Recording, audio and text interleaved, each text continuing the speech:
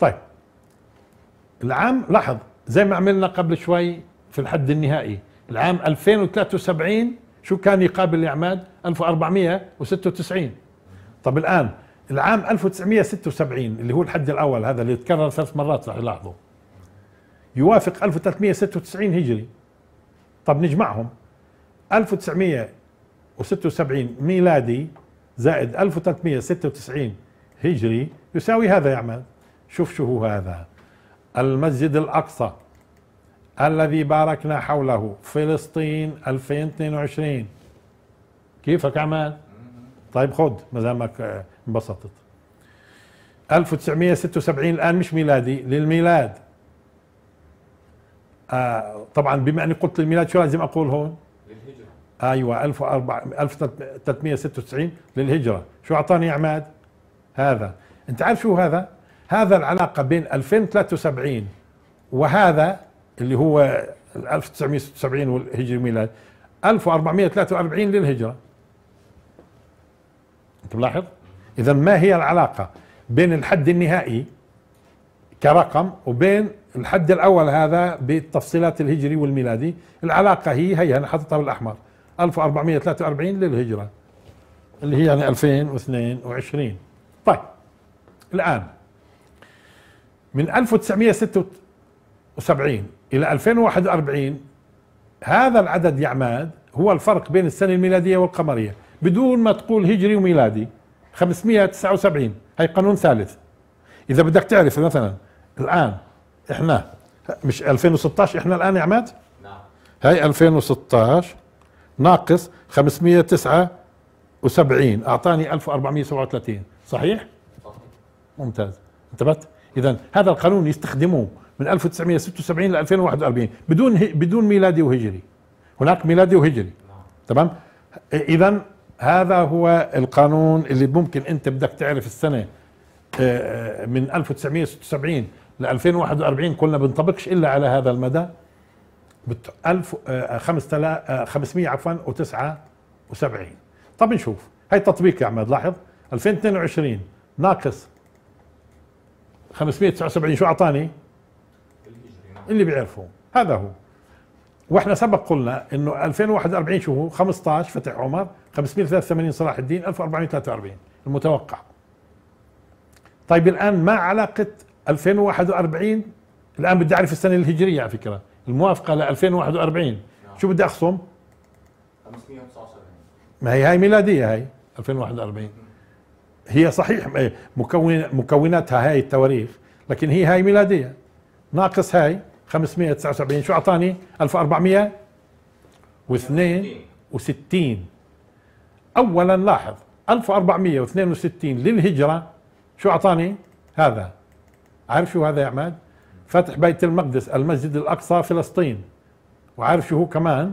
فلسطين 2022 ميلادي. شوف الجمال. حتى الرقم نفسه بتلاقيه. كمان مرة. بأكثر من أيوه. اذا هذا العام الموافق ل 2041 للهجرة. أعطاني فتح بيت المقدس المسجد الأقصى فلسطين اللي هو فلسطين 2022 ميلادي. طيب لاحظ يا عماد. الآن بدي أجمع وأحط ميلادي. أجمع التاريخين. 2041 ميلادي اللي بيوافق 1462 هجري. شو أعطاني؟ هذا. عارف شو هذا يا عماد فتح بيت المقدس المسجد الأقصى فلسطين 1443 للهجرة. بدي أعيده مشان الناس اللي اللي بيزهقوا. آه، فتح بيت المقدس آه، المسجد الأقصى فلسطين. 1443 للهجرة. كيفك يا عماد؟ تمام. طيب.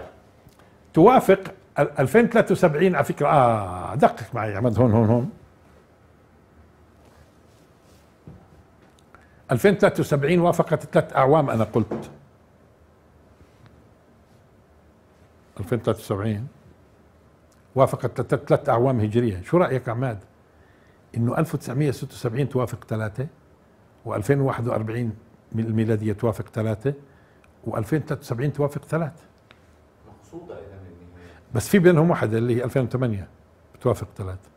تمام؟ بس الغريب هذول اللي هم الح- الحد الأول اللي بتكرر ثلاث مرات. نعم.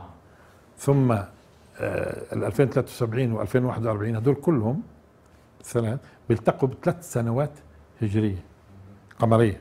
تمام؟ طيب لاحظ.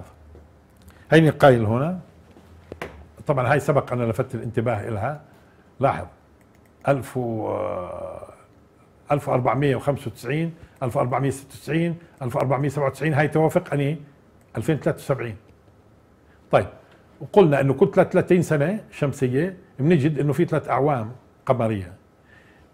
آه، 1976 2041 2073 كلها فيها سنوات قمرية وبينهم 2008 تشبههم. والآن لاحظ يا عماد. شوف هون.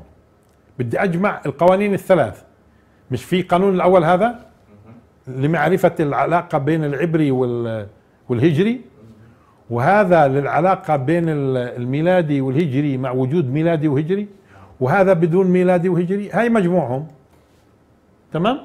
طب لاحظ شو هو المجموع. الأرض المباركة المسجد الأقصى 2022 1443 الأرض المباركة اللي هي المسجد الأقصى 2022 1443 وليدخل وليدخلوا المسجد كما دخلوه أول مرة. أنت بتلاحظ الجمال تصور إنه القوانين الثلاثة مجموعها إيش؟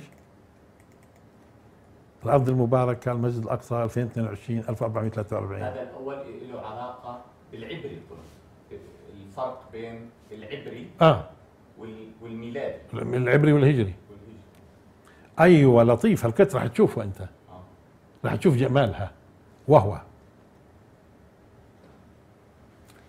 طب هاي نفسها هاي. نقص منها آه 3760 عبري. اذا لاحظ. اذا دقق يا عماد. اذا هذه السنة الميلاديه اللي هي تساوي المسجد الأقصى. هذا جمل المسجد الأقصى. نعم. فلو رحت للسنة 361 وشفت وضفت لها هذا مشان تشوف شو عبري شو بتطلع المفاجأة. الرقم اللي بنستخدمه انت استوعبت؟ دقق جيب عندي هون. انت ملاحظ انه ثلاث حتى إحنا بنتكلم عن قضية عجائب الأعوام وهذا بيشير لك على القدر والنظام حتى. طب ما هو هذه استكشافات كلها في القرآن إحنا نجد الواقع والسنين والسنين ماشية بطريقة عجيبة. طب الآن لاحظ يا عماد السنة اللي هي 361 ميلادي. شو كانت عبري؟ بضيف اذا كمان مرة. 361 ميلادي. بضيف لها 3760 بيعطيني 4100 4121 ي- عجيب. ملاحظ أنت؟ طب طيب شو رأيك؟ السنة الميلادية هاي أضيف لها كلمة ميلادي. شو أعطتني؟ الميزان 456 طيب السنة الميلادية هاي عفوا السنة الهجرية الآن. أضيف لها هجري. شو أعطتني؟ الرقم اللي بنستخدمه بين بين الميلادي والهجري. كمان مرة. شفت العجب؟ اذا حتى القوانين الثلاثة قبل شوي جمعناها إحنا.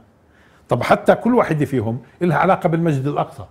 بمعنى السنة هاي 361 ميلادي لما نضيف لها 3760 أعطتنا اذا هذه هذه السنة العبرية دقق يا عماد. هذه السنة العبرية في في 361 ميلادي اللي تساوي المسجد الأقصى.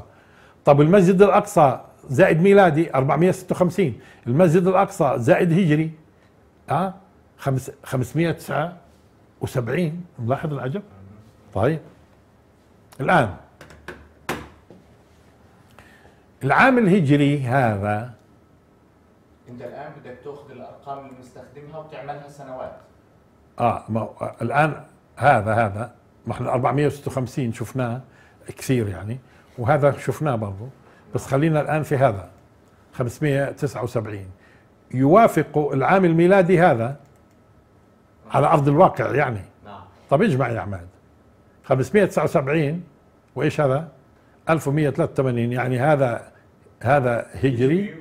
وهذا ميلادي لأنه لما أضفنا هون مع المسجد الأقصى هون شو أضفنا؟ هجري. أعطتني هذا. فأخذنا العام الهجري. شو وافقه ميلادي؟ أعطاني هذا. شو هو هذا يا عماد؟ المسجد الأقصى 2022 طيب الآن لاحظ شو بدي أعمل. 579 للهجرة. يقابله. 1183 للميلاد. شو أعطاني؟ هذا. عارف شو هذا يا عماد؟ فتح الأرض المباركة المسجد الأقصى. فتح الأرض المباركة المسجد الأقصى. إذا هذه حلقة. إذا بتلاحظ يا عماد هي حلقة من حلقات طويلة في موضوع 2022 هذا العام يبدو أنه راح يكون فارق. في تاريخ الإسلام وتاريخ الأمة وممكن هذا النوع من البشريات أنه ما يحصل الآن لابد أن يثمر في النهاية بغض النظر عن تقييمنا الأحداث الحالية لكنها ستفرز. متوقع أنها تفرز خير كثير إن شاء الله وهذا بي هذا بيزيل اليأس وبعطي دافعية للعمل. دافعية خصوصا الشعوب الشعوب هاي الثائرة اللي بتحمل سلاح تدرك تماما إنه ما في يأس وإنه في ثمرة في ثمرة. هذا مهم كثير. وكأنه بعطيك إشارة إنه في مرحلة ل 41 من 22 و- ولا آه، 73 2000 أثار. كأنها مراحل. آه، يعني آه. تغييرات. إنه أثر أثر 2022 آه. في في في المستقبل عند 2073 إيش بيحصل؟ آه بس يعني كأنه في علامتين فارقات. ل 41 في 2041 آه. 2073 نعم. ما هو الناس يفكروا إن شاء الله بلكي إحنا ما بنعطيش كل شيء الآن هون طيب. إحنا بنعطي مجرد حلقة وإن شاء الله بيكون حلقة أخرى في مواضيع منتمية يعني ونستغل طبعا إنه بنعطيش دروس التفسير في رمضان بعض الناس ممكن يكون مش ميال كثير للأعداد فيعذرونا لأن إحنا نتوقف في رمضان عن دروس التفسير فبدنا بديل في ناس بيطالبوا في قضية العدد وعندنا نتائج ضخمة. بدنا نحاول آه، نبلور بعضها في رمضان إن شاء الله. وآخر دعوانا الحمد لله رب العالمين.